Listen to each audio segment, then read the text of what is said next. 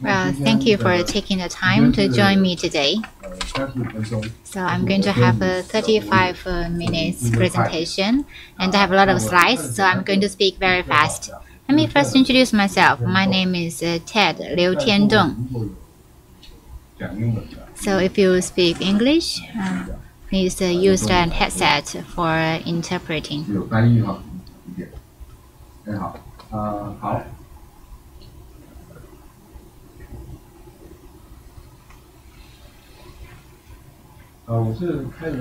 So I'm the co-founder of uh, Open Source Director.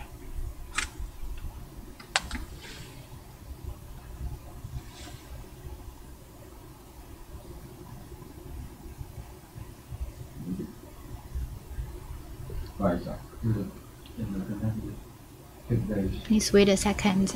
I'm dealing with technical problems.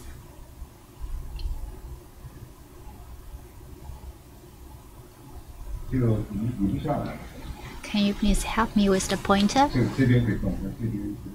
It doesn't move here.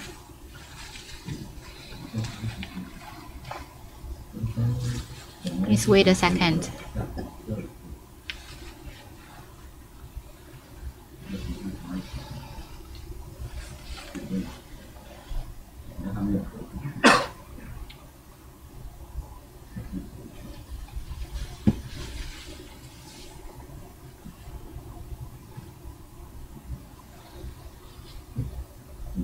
Hope it works. Can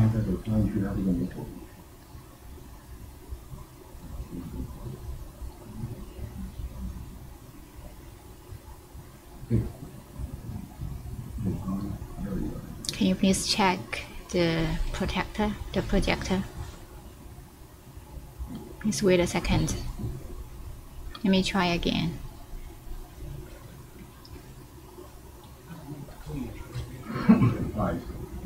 Sorry for keeping you waiting.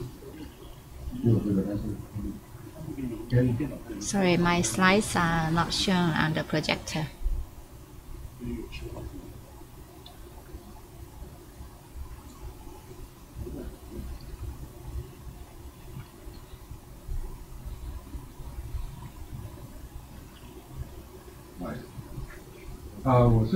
Sorry for keeping you waiting. So I'm Ted Liu, and uh, I'm the director of uh, Kaiyuan which is an open source club.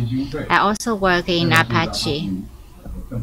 So I'm a member of Apache, and uh, uh in China there are 13 Apache ASF members, and I'm one of the 13 members in China. And I have uh, been working in two areas. Most of the time, um, I'm working on open source in mainland China, and the other part of my job is um, to work as the ASF incubator. And moreover, for some projects, I work as the mentor. So these are my responsibilities.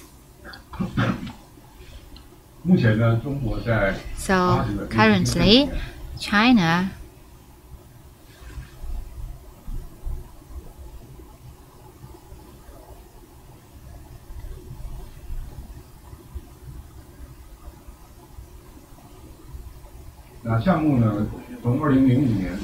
so actually, um, from 2015, there were three programs in China, and now there are 14 projects of Apache in China. Some are from big companies or startups or from individuals.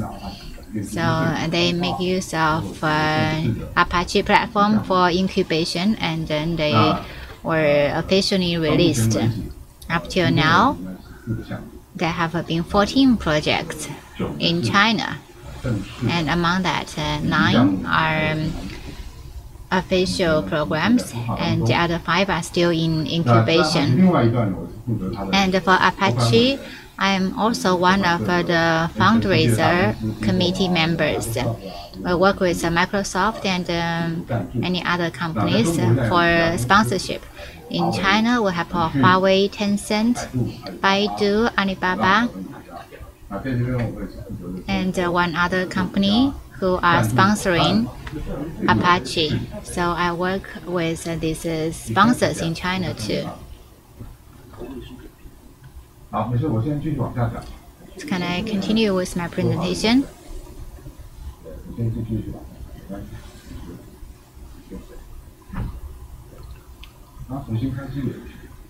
I'll wait. I'll wait a few seconds.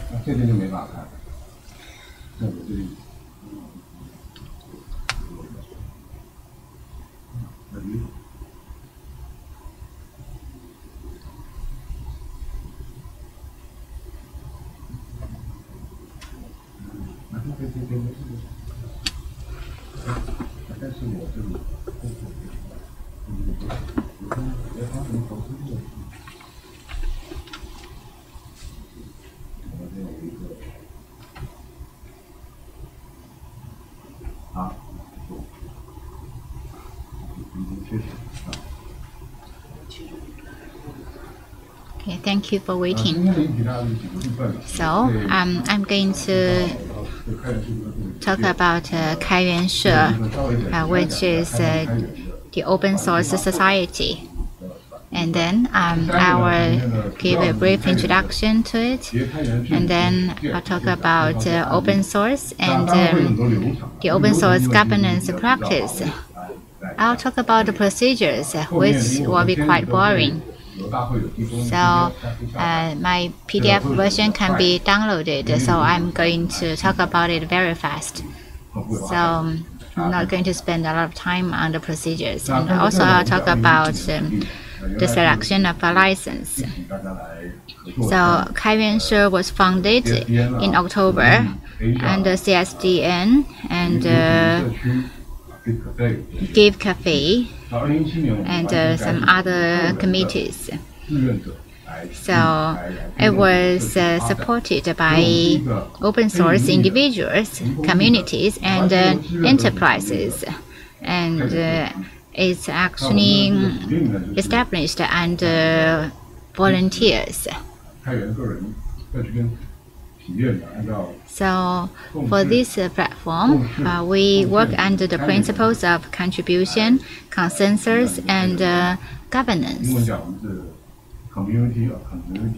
We call it a community of community. We hope that in China, we're going to promote a sustainable open source community. And we hope that uh, in China, the open source community can contribute to the global community of open source. 大家看一下，就是我们现在这主要这四个。 So currently, We work in four areas. So actually, the mission of our community includes uh, four areas. Some people will say that uh, uh, for our society, we do not have our technology, but the fact is that our technology is uh, faced towards developers. So we have four missions. The first one is open source governance, which means to have horizontal management on this community. Second, we're going to have community development. We believe one plus one is over two, so we develop as a community. The third one is uh, going international.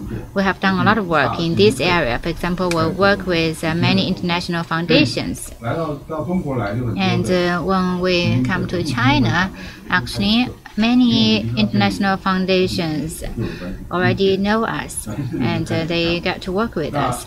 And the last part is open source projects. So these are our missions. Let me talk about it one by one. First one is open source governance. So as uh, for our conference, usually in the past uh, we had smaller conferences and in recent years there are bigger and bigger conferences about open source. So actually this kind of governance uh, includes. um, the open source process guidance, open source license, and uh, legal advisory, etc. So you can go to our website for more information. Uh, for example, we provide um, the automatic selection of uh, open source online, and uh, we also provide legal advisory service we also launched the um, China Open Source Ecosystem Report in China.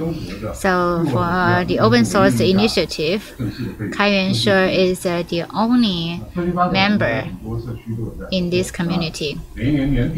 So in terms of community development, we have our annual conference. This year, we're going to have our annual conference on November 2nd and 3rd. It's called COSCON. And also we have a hackathon and uh, online and offline programs and also Linux activities. As for going international, we work with many top international foundations. So this is also the part that we are very good at.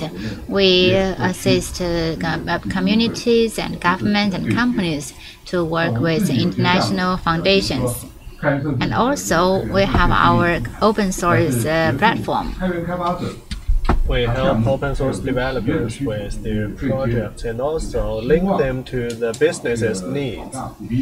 We help for the hardworking programmers while contributing to open source can also get recognized and accepted by and adopted and even incentivized by businesses.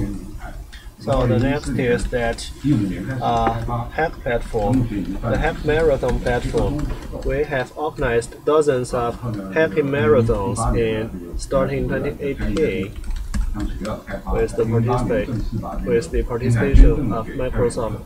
It was this platform was donated to to So also we have the WeChat robots. Earlier today I was talking to some colleagues from Tencent talking about what the WeChat robots can do. Because a lot of the communication is done on WeChat. Like in other countries, they usually use email for their work, and in China, they talk about work on WeChat and social media a lot. So now the WeChat robot can help every group to keep track of their conversations. The chat history can be sent to Gitter, which is on GitHub. So all the chat history is there.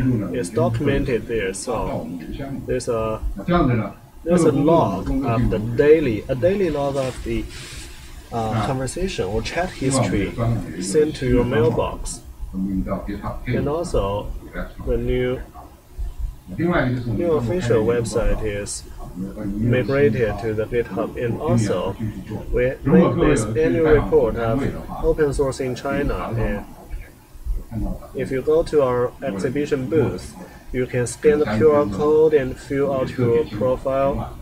And some, I can see that people were working hard and treating the questionnaire seriously, so that if you go to the, go there and get signed up, and then we can send you the 2019 China Open Source Annual Report as well when we make it available.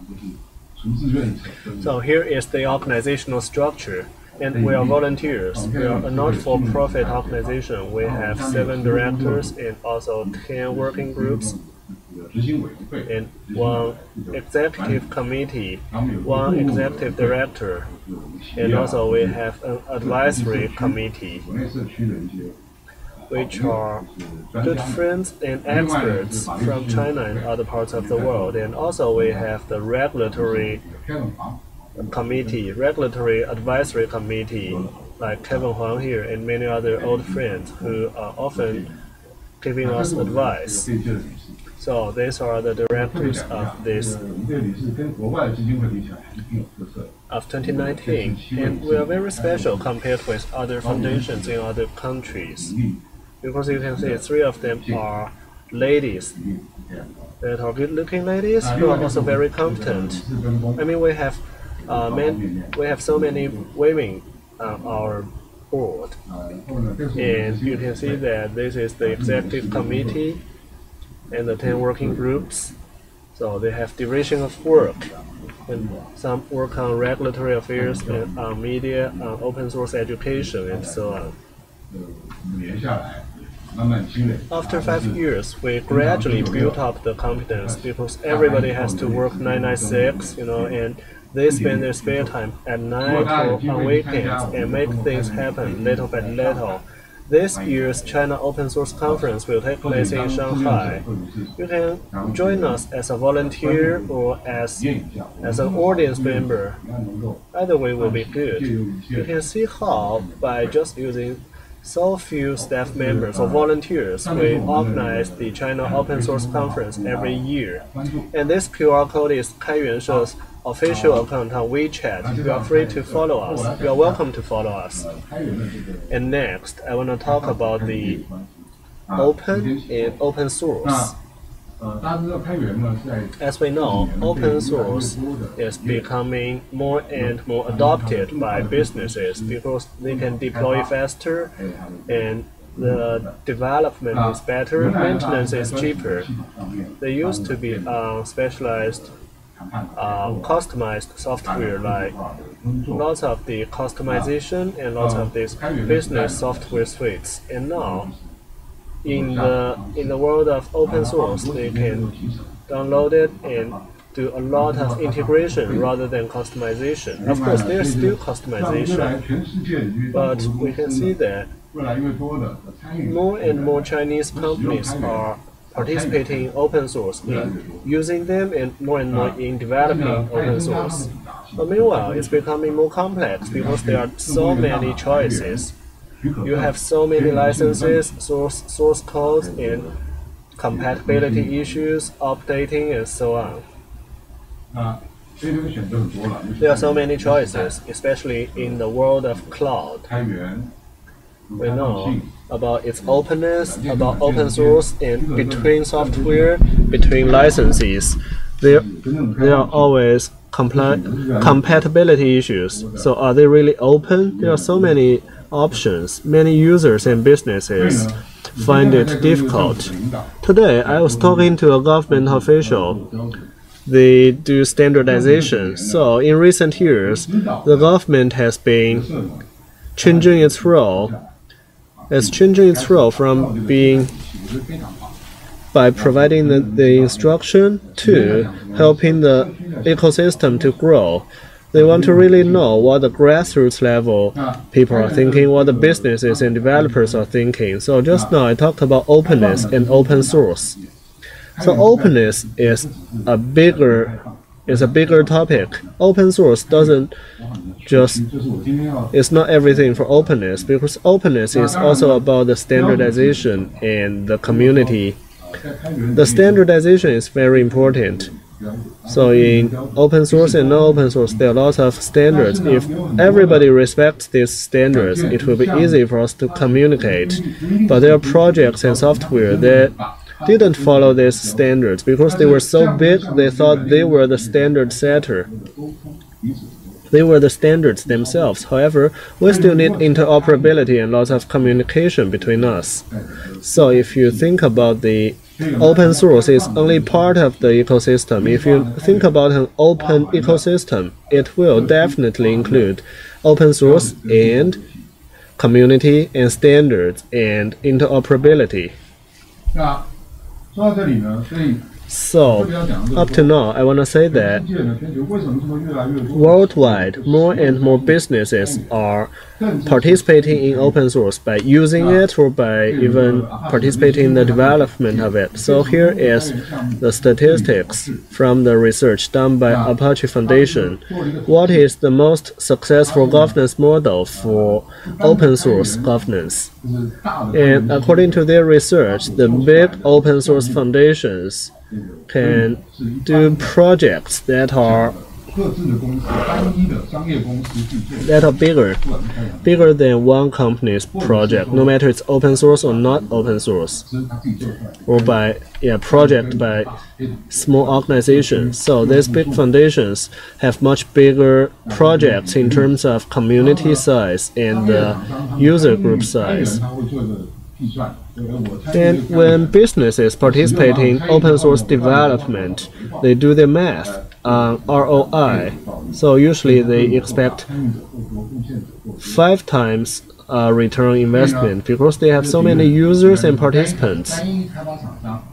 So, like for one single company like MySQL, Qt, and OpenOffice, they are usually smaller projects with smaller communities and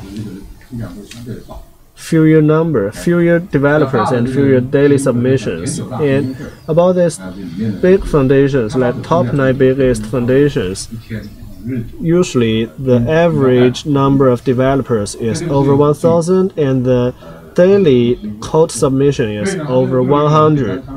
This is the, from the research by Apache. So, for not-for-profit foundations, how should they help the community grow? The most important way is that the businesses will understand that they should work closely with these big foundations rather than working in isolated ways so that they will have bigger market potentials and bigger size because the more users participate, the more contributors contribute, the bigger the community will be, especially the foundation guided communities. Then they will have more clients and more code contributions. This will lead to a positive cycle. Just now we learned about the introduction, so because the open source is adopted by many businesses in other countries, and lately in China, if you think about the big companies like Baidu, Huawei, Alibaba, Tencent, and many others, JD and DD and 360, they have been participating in open source. So because there is the economic factor, the return on investment, it helps the business. And next, I want to talk about this. When you use so many uh, when you use so much open source software, how do you govern the community? So actually, many people think it's just about licensing, but actually license is part of it. There's also risk management and also regulatory governance and also community governance about how to develop your community. Just now I talked about the interoperability and the community. They are all important. So how do you develop the community and also how do you have good governance for one single project? I mean, open source governance is a very big framework. Okay, next, this. This is a quotation from the president of ASF. He says open source governance is a social framework. Today, I may not have time to really talk about open source licensing. I mean, there's a lot to say. About open source licensing, it's a legal framework, and we know open source governance, it's a social framework, so licensing is only the legal part of the framework. Many people, many companies understand the importance of open source. They want to use it, they want to adopt it, they want to contribute to it. So these companies need open source governance. They need a virtual team or a tangible or intangible team to govern the open source work. It's part of the extension of their operation. So if you look at the big companies like Google, Intel, Microsoft, and many others, and also many startups like Facebook, GitHub, Twitter, and so on. These companies, they they have this to do group.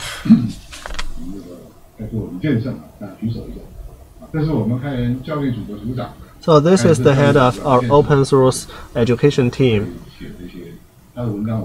He's a very good writer. I read his writing every day, and he also has this book reading club. He started it, right? Has very high requirement to join in. So This is the help from some open source expert. They were helping us. About the open source office, many companies are having it already. So what do they actually do? What can they help? What can they help with? The open source office.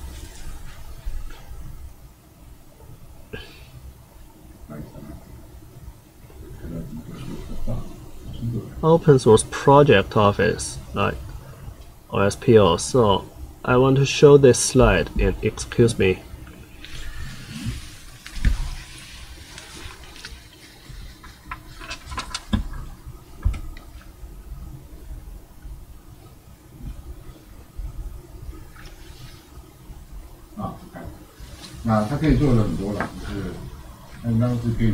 So the open source project program office can do lots of things like strategy, process, policy, education, and popular popularization, community relations, and regulatory affairs, compliance, and also technical guidance. It can do lots of things. The OSPO, Open Source Program Office. So there are many details I will not go into today.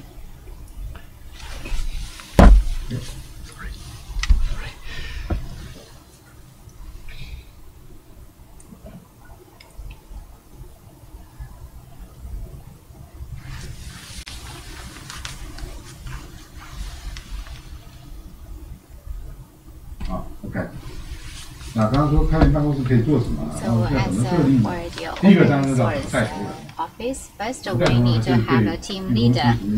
So for every company or for every project, you need to have a leader to implement the strategies.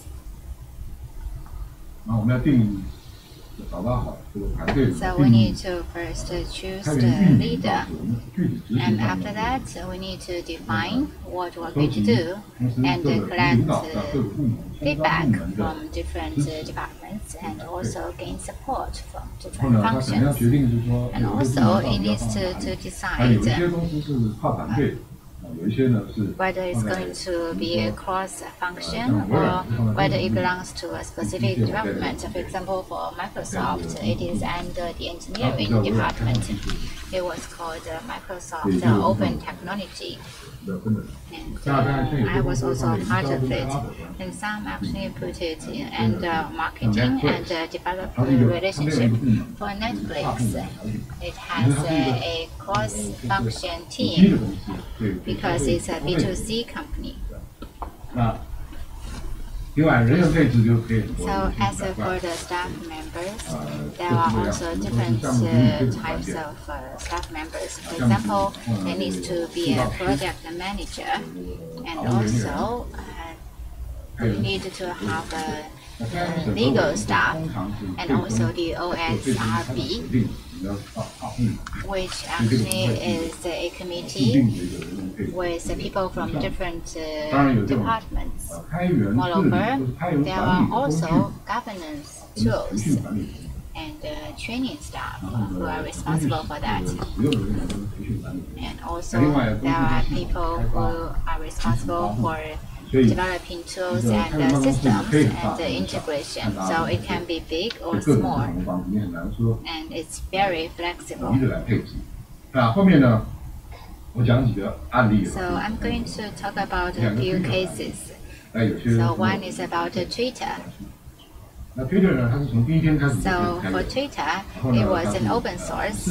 from day one. It started with 4,000 employees. And currently, there are over 300 million active users, and every day there are about 500 million tweets. 80% are mobile users. So as a, for open source office, it can do something different. It has a more broader view. So it has uh, open standards and uh, it's also part of open data. It makes use of open data, open source, open standards, and uh, community management and outreach. So for open source office, it aims at highest speed and more strictness. So it aims at uh, less bureaucracy. Second, it, it aims at a more pleasant uh, open source procedure. And that means to have a more pleasant environment. Number three is to have a higher efficiency to protect the company. And number four is uh, to establish a community for its key projects. Without a community, it's hard for a project to succeed. So actually people say that a project is successful if they launch it without um, the contribution from others. But the fact is that uh, it's hard for the community to grow if you have this kind of mechanism. So one of the foundations said that uh, for an average project which is uh, not excellent, if you have a community to support it, it. will get more excellent. If you believe that your project is good enough and you don't need more contribution from the outside, then this project is probably not going to grow. So as for open source project in China and in other countries, there are many differences. So for many projects, they protect themselves and they do not grow and they do not uh, attract uh, contributors from the outside. Well, actually, education and uh, culture are really important. So I have five minutes. And what does Twitter learn?